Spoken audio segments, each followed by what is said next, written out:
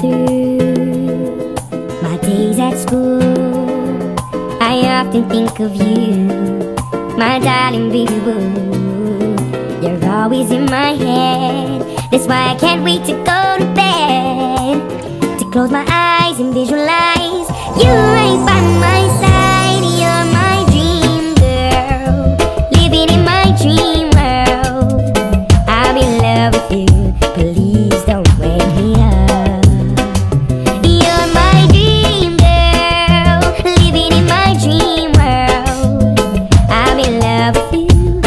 please don't